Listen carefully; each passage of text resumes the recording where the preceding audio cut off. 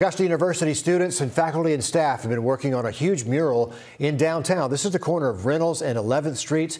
It's on the side of a building there. They were out there today and they're going to continue to paint tomorrow. It's all part of a project they started last week. Here's the art professor that's overseeing the project. So we're trying to tie together um, all things Augusta and also a little bit of Augusta University in there. Um, kind of a place that students can come down and take pictures in front of, make um, you know, social media posts and everything, um, and just kind of integrating our students into the downtown area as well.